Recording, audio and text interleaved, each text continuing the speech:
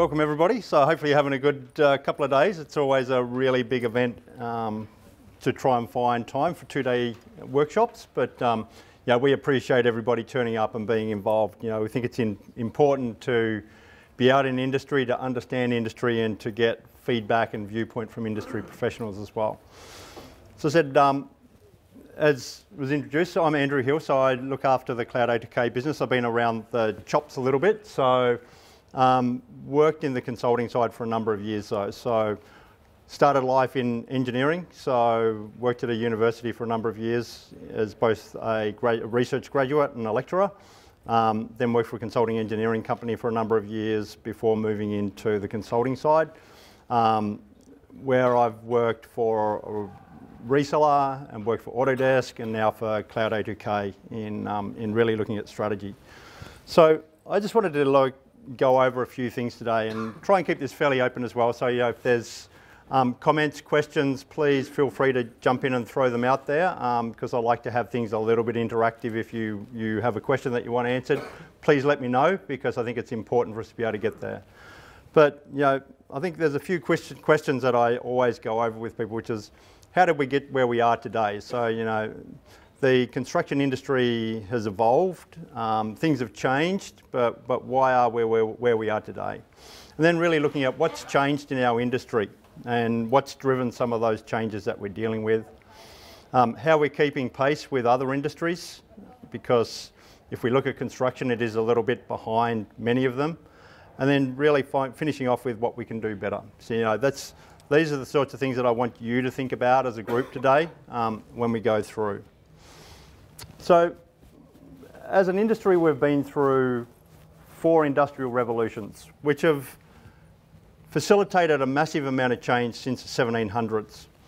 So the first change that we went through was really around the mechanisation, where we actually used water and steam to start powering equipment and actually leading into what was the first and early implementation of factory environments.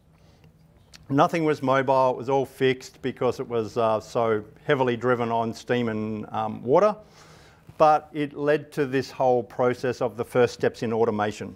And first steps in automation is, was really required at that time to lead to strategies around how we can be better at looking at um, you know, moving production line and increasing the way we produce uh, equipment and materials.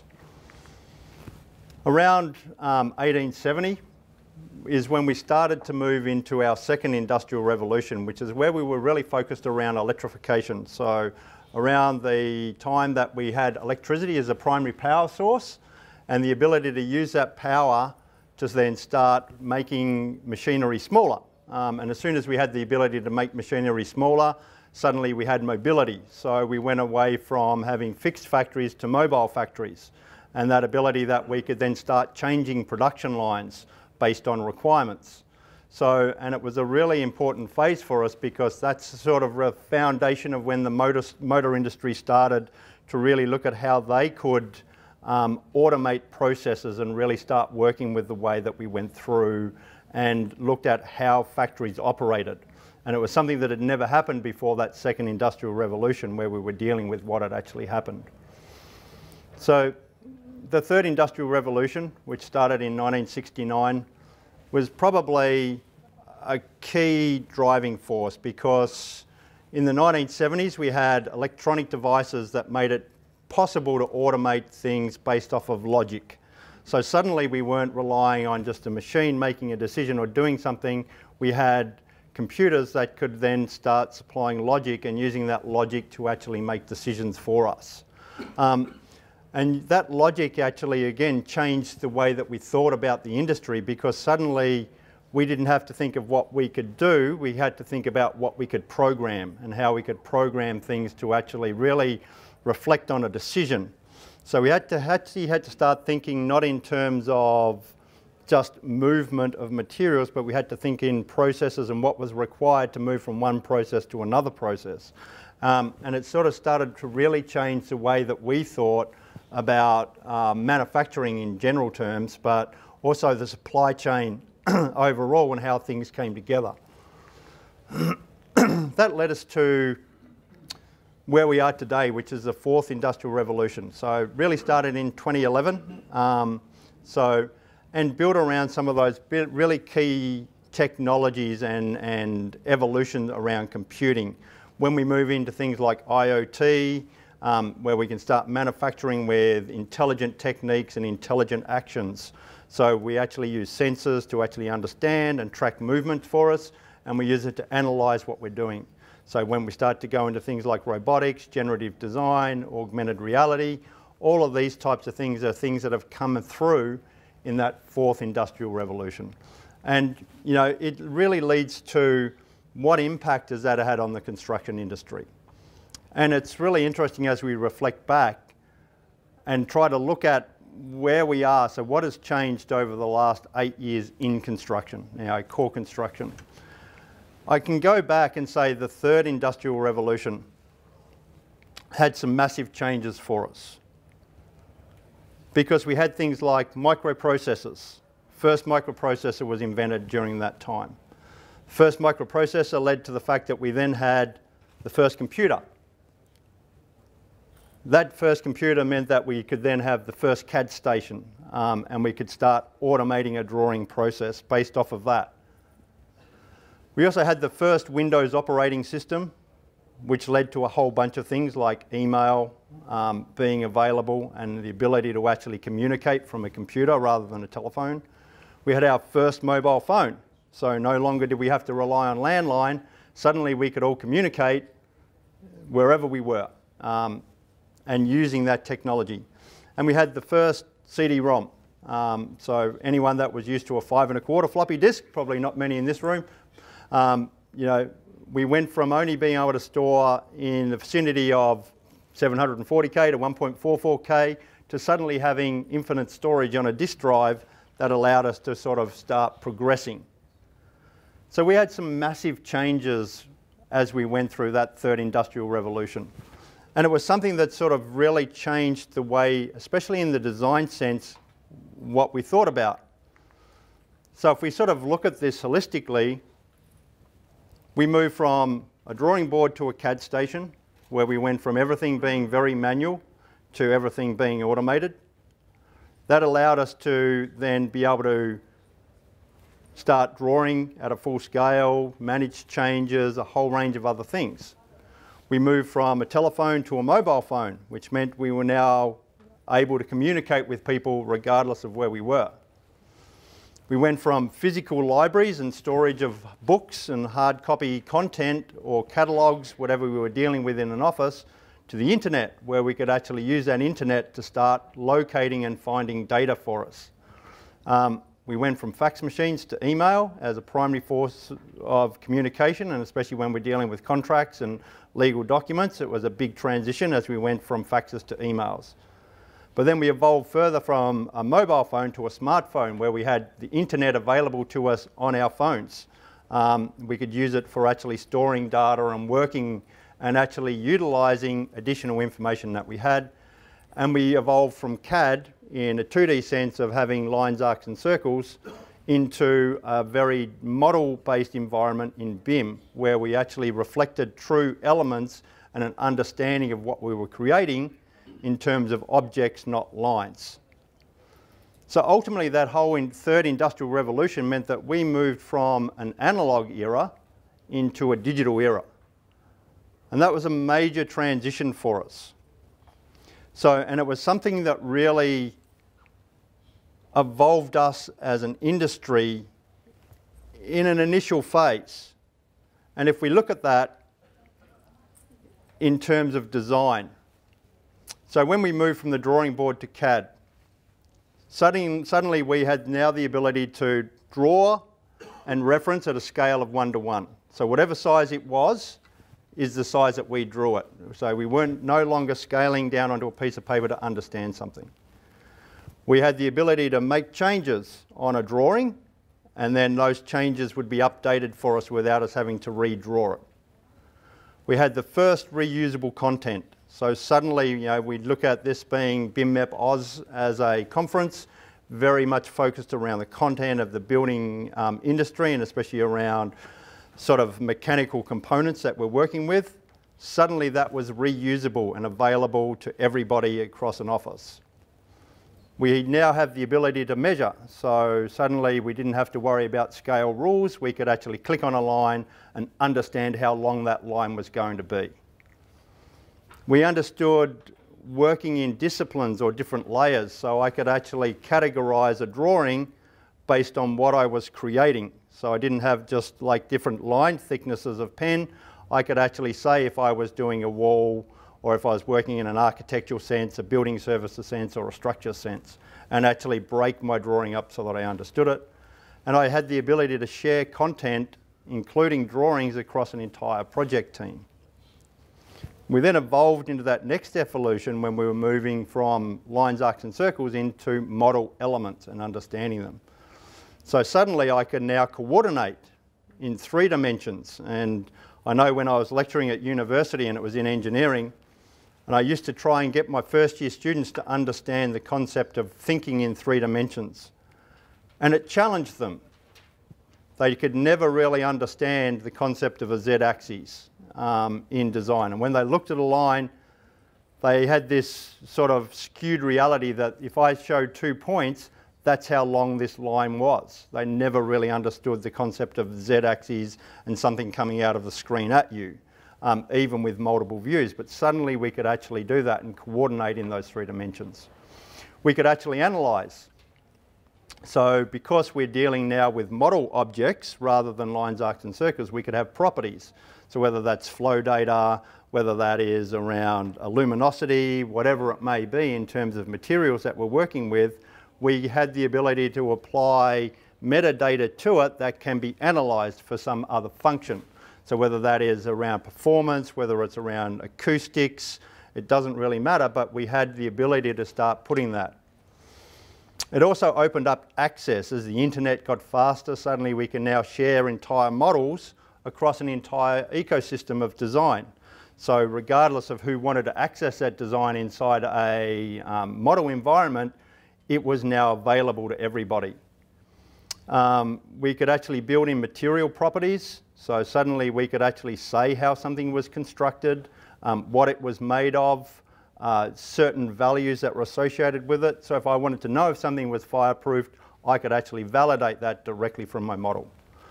It also opened up the whole concept of visualization. Um, we didn't have to rely on just someone building up a fancy picture for us to understand a 3D model and what it would look like we could take it directly from the model and visualize it and understand it and everybody could actually then utilize that in terms of, of um, an assessment or a review or public endorsement or whatever what it could be.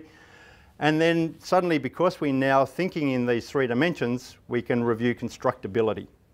Um, and there's a caveat to that, that we have to have a constructible model but we could review constructability. So we can start doing things like constructability analysis and actually seeing if what we've designed could be built and if that's the best solution.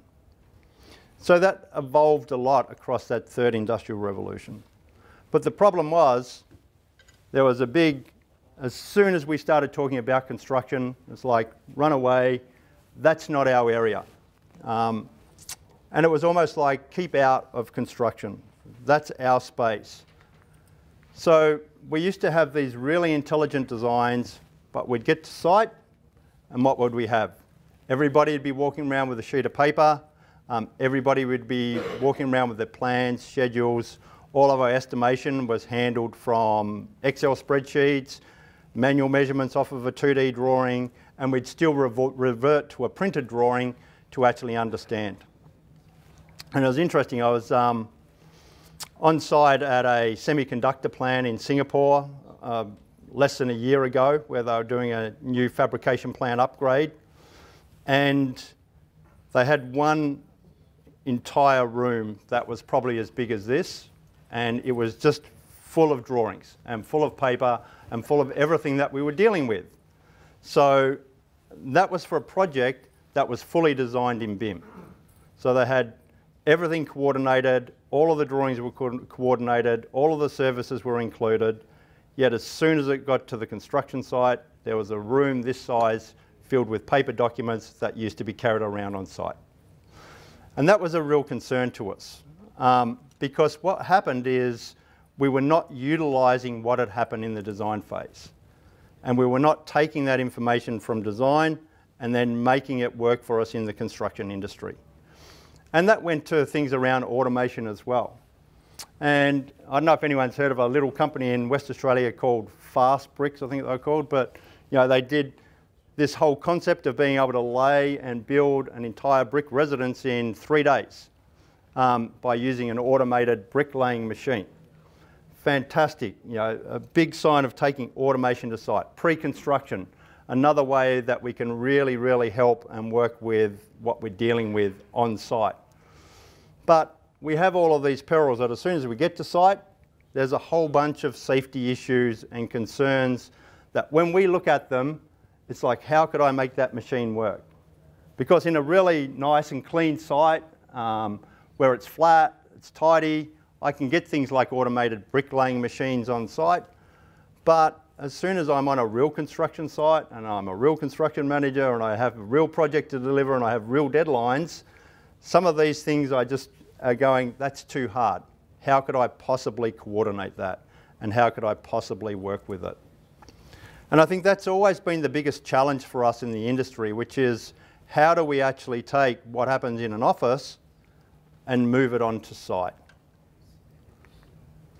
So that leads into what this is driven, which is a major study, um, every major study in the world around different industries and digitisation all agree that construction is the least digitised sector in the world. Less than agriculture, um, less than, you know, pretty much everything. So it is the least digitised industry in the world. And that is all because of this lack of reuse that we have when we move to construction. So, and it's something that we need to take on board as an industry and we need to understand and we need to be able to evolve and we need to actually look at how we change it. Because as we move into where we are today, which is the fourth industrial revolution, there's a whole range of things that become important for us. And the World Economic Forum um, actually had a big seminar talking about the fourth industrial revolution and its impact on the construction industry. And they came up with a whole bunch of things that they said was going to drive it. Robotics, artificial intelligence, IoT, autonomous vehicles, you know, already seen that on mining sites, but it's you know, something that's there. 3D printing and the use of 3D printed technologies, nanotechnologies, biotechnologies, um, not so relevant to the construction industry, but it's one that they had in there, and quantum computing to make everything accessible in a high period of time. You know, and it's really interesting when we look through this and say, well, what out of this can we do today and what can we do well? We can do robotics, we can link into AI, we can do 3D printing, but not so much for a building. Autonomous vehicles, yep, but they're not prevalent. So there was a um, university in Europe that had actually done a fairly comprehensive study last year. And this was the things that, this was their roadmap, you could say. This is what they thought the industry would look like over the next seven years from last year. So, and they went into things around software as a service being um, the primary source of communication by 2018. Now we're in 2019 now, and I can clearly say that software as a service is our primary source of, of accessing information. Not many companies and organisations reside in the cloud now, um, and that's what you have to do to be in a SaaS environment. AR and IoT, so using augmented reality and IoT, being really established across construction industries. Um, I know some companies that do much better than others, and there's one construction company in here today that does things pretty well. Um, but in terms of looking at this in uh, true AR or using IoT and using data properly, the same thing. Like, I don't think we're anywhere there. Um, prefab, pre-construction, 3D printing, you know, taking site and being safer on site by having as much constructed off-site as possible. It's happening a little bit now. Um, will that happen by 2020? I'm really sceptical to think that that's going to happen with where we are today as well. Drone monitoring, so um, there's already been a lot of legal issues with drone monitoring around sites in various countries, um, dealt with them in, especially around Singapore and the Middle East, um, in two areas particular where I've seen major issues with it. But by 2021, they are saying that drone monitoring regulations will around round-the-clock drone access for scanning sites and making sure that construction meets des um, design and schedule. Self-guided machines integrated into the work sites by 2022. AI managing its first project by 2023. If that happens, I'm going to be a really happy person. Yeah, and again, I'm just not sure that it will. Autonomous machinery guiding its first construction project by 2024 and a less people for manpower and a new tech rise by 2025. And it's interesting when we look at that and reflect on it with, is that possible and do people feel scared about it? You know, um, as soon as people start talking about less people for manpower in the industry, it's really interesting because then everybody starts to worry for their job. And I think anyone that's here from the construction industry, and you know, hopefully we all are, will understand that we are already in desperate shortage of resources. We don't have enough people now to facilitate what needs to be done just to substantiate growth um, in our industry. If we look at infrastructure, um, just to upgrade infrastructure around the world, they're talking trillions of dollars just in that. That's without looking at increased housing, um, increased hospitals, increased schools, increased power plants to support all of those things. That's just core infrastructure. So we're already in desperate need. So if anybody wants to work till they're 90, they're definitely going to be able to. Um, because we're just not going to have enough people in this industry. But I thought that that was a really, really good study that they went into and a really good way to look at it. Um, I'd be curious, does anyone have anything else that they think should be on a table like this? Because I looked at it and I thought it was actually a fairly good model um, or you know, a good step around everything that's happening through that fourth industrial revolution. But when we go through it, everything that we were talking about is looking at data. So it's looking at how can we capture data, how can we store data, how can we use the data, and how can we analyse data on a project. Because data is going to be the new king. There's a lot of articles that actually talk about organisations having a stock value on data by the mid-20s and having a C-level person whose role is only managing data with inside organisations. So that's a really interesting concept when we go into it because that use and reuse of data suddenly is so valuable to organisations that they actually are putting a stock value and a price on it in managing it. But there's a few things about data when we step into it, which is if we're looking at data in terms of you being able to reuse it, we have to have standards, we have to have specifications, we have to have schemas and workflows that go with that data, and we have to have structure around it. And if we don't have any of those things, then suddenly that data is just going to be a binary on-off number that means nothing to us. There's a whole talk, you know, when we went through the knowledge era and everyone wanted to have knowledge managers in their business, that was all around taking data and converting it to knowledge with inside businesses. This is no different, but we're taking data and we're analysing it for decisions that help us in the future. And that's where we need to be. So what's held us back? We've had a really, really good go at looking at level of development in the construction industry for design, where we actually fully understand a whole range of information around graphical attributes that we work with. Heights, volumes, locations, orientations, eleva elevations, materials, all of these types of things. From a graphical sense, we have been very good with the way that we work. The problem is that all projects have equally as large amount, if not more, embedded in non-graphical information.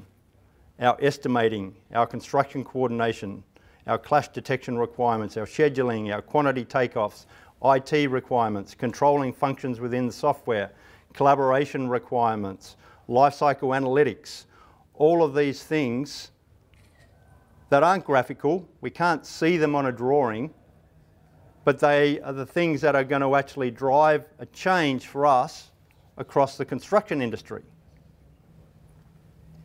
So when we talk about the construction industry evolving into the fourth industrial revolution, it has to be around all of this non-graphical information and then where that non-graphical information is structured, where it's placed, where it's controlled, where it's managed.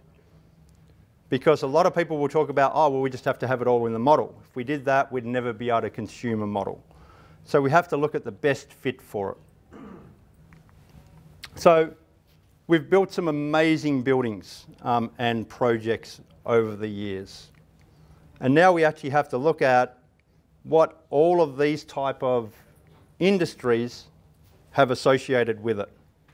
How do we bring in connectivity, automation, IoT, the cloud, systems integration, mixed reality and AI, and then all of that leading into big data. So one of the things that I tried to do was to sort of just have a look at this in a holistic sense with what that would look like in terms of a workflow. So we all know we have a design model, and our design model is so data rich that it's incredible these days. The first thing we need to do is understand how does that become a construction model? Because there's one thing to say I have a slab, there's another thing to say how is that slab going to be manufactured? There's one thing to say have a column, another thing to say how it's broken up. Same with all of our building services. So we need to go from a design model to a construction model that goes through the analysis of our big data, may link into AI, definitely link into some cloud computing, and probably linking into some VR or MR mixed reality environments so that we sort of understand where that goes. Once we know it can be built, then we have to estimate that project and actually understand the cost controls. Hopefully we've been doing some cost control earlier, but it now allows us to actually jump in and actually understand the cost of actually building this based on the construction methodologies that we put in place. And so it's the same thing. We have to link into our big data. We have to link into the cloud. We have to link into our um, AI or artificial intelligence that will make decisions for us and actually start utilising that. We need to understand our schedule and our schedule is the same. Using the data that we have available, maybe storing that in the cloud, maybe using um, AI for decisions, and then that's going to give us a simulation so that we can see then clearly what that construction is going to look like. Once we understand what that construction is going to look like, then we can start moving into procurement and subcontractor packaging. Same thing though, we use all of the same data that we've had, we package it up, we make decisions, smart decisions based off of historical data through AI, um, we pass it out through the cloud and we make it accessible to everybody. Once we've actually had the ability to pass that, then we have to go through all of our site activities and understanding what all of those site activities start to look like. And we need to make it mobile and we need to make it not paper-centric, but data-centric on digital applications that we have available today. And it has to be reportable so that we can actually understand in a reporting sense everything that's happening as part of that. So it's got to be available on our computers, our tablets, our phones, and actually have it there so that we always have access to this data regardless of the format. And that's where we start linking into some of the IoT structures, the big data structures, AI, cloud, and the VR um, qualities as well as part of that. And finally, we start finishing off with project analytics. Because the only way that AI is going to evolve and the only way we're going to get smarter is by making better decisions. The only way we can make better decisions is by understanding historically what we've done, what caused us problems and what worked well. So that sort of then leads us through to this whole concept that by using data as the key and data as the foundation for actually driving construction as well as design, suddenly we don't just have smart design, we have smart design and construction. And that's what we have to achieve, looking at how we start utilising that data better. And there's ways that we can do that, and they're all very process driven. So we really have to focus on what data are we capturing, what are our processes for capturing it, what are our processes for analysing it, and what are our processes for reusing it. So the big thing around that is that's just a massive change to us and a change to the industry. Um, I pulled this slide out, but one of uh, my co-workers said, you should put this back in. I love that comment. Pace of change has never been this fast and will never be this slow again. So this was Justin Trudeau um, at the World Economic Forum in 2018. He's not the only person to have said this comment, by the way. It's been said quite a few times. But it's really apt because although things are changing fast, it's never going to change as slow or it's never going to be this slow again in the future. Change is only ever going to increase. So we sort of look at it and we go, well, why do we need to change then? Why do we have to digitise? And that digitisation really comes through efficiency. If we look at the manufacturing industry, non-value waste on a project is 26%. Still sounds high, um, but it's acceptable. So they have 26% in non-value added processes, waste in non-value added processes in manufacturing. As soon as we go to construction, 57% of our projects are waste. And that's phenomenal. Like over half of what we do is in non-value added services and processes. So it's important for us to sort of sit back and look at it and say, if we could replicate the automotive industry and reduce construction waste to 26%, what would be the impact on a project? And if you actually sit down and crunch the numbers and look at the maths, which I did because I saw this study and I tried to work it out, the number I came up with was around about 18%. So you could actually save 18% on a project just by cutting waste from 57% to 26% on a project. And that's a fairly substantial change and something that we need to look at. So, you know, I said we compare this back to the automotive industry.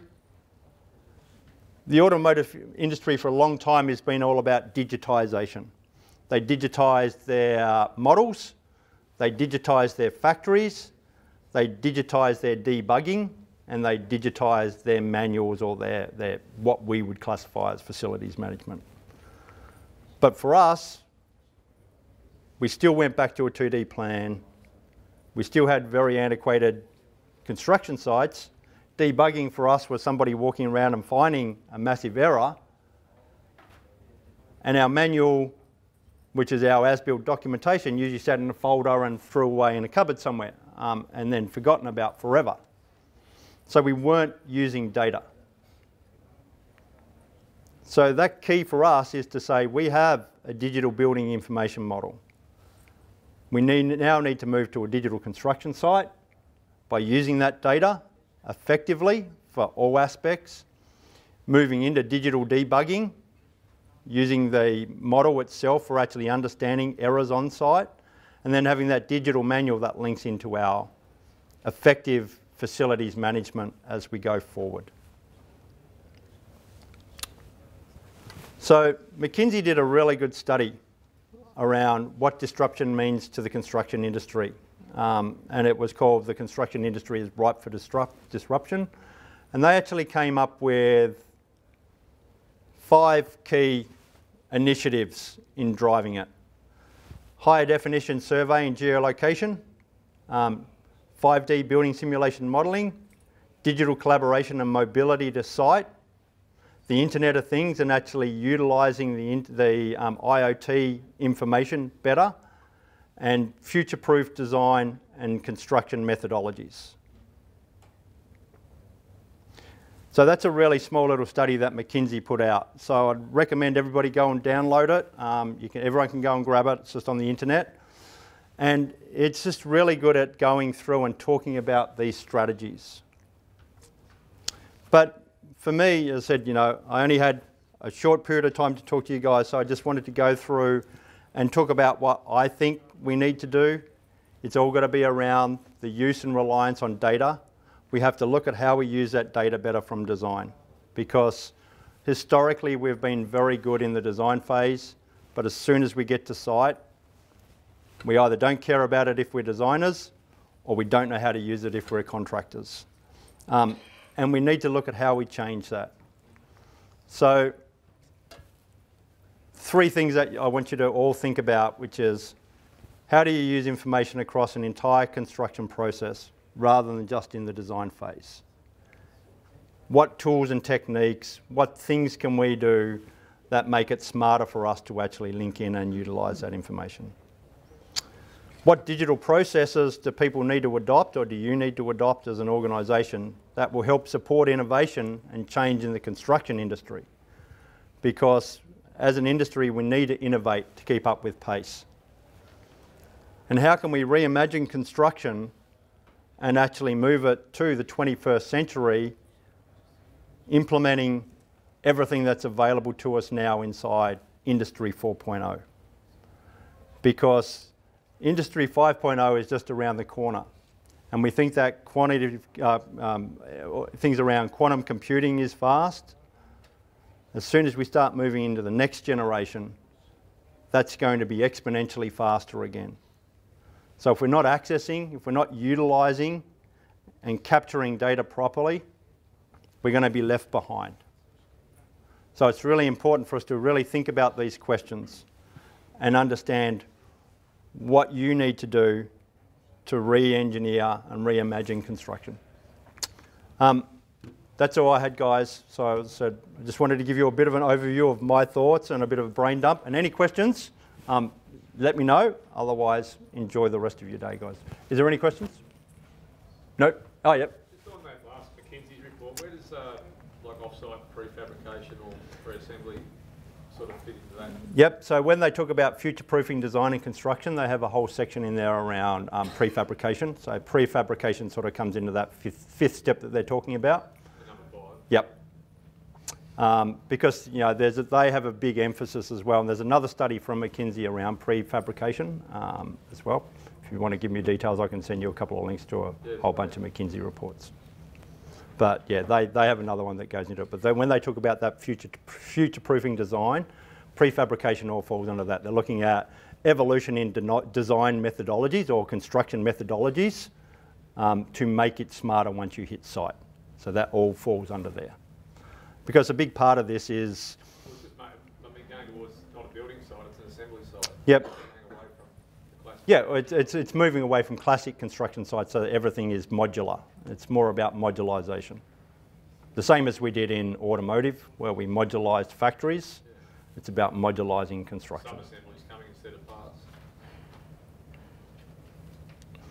Out of those 57% wastage that you saw in the construction, what are the major ones that became very obvious? Yep, so RFIs, so where people have a question on site. The average RFI, there's, a, there's another study that talks about the cost of RFI. So any time that there is a request for information or, or something, someone needs clarification on the construction site. The average cost in US dollars for rectifying an RFI was $7,000 and, and involved I think it was something like 12 people to actually go through and do it. So that was, there was a major factor around RFIs and, and errors on site that needed to be reviewed. Um, the other one was around material wastes. So people ordering wrong materials or ordering too much of something or having equipment there for installation when the materials weren't ready to be installed. They were the two biggest drivers of waste across that 57%.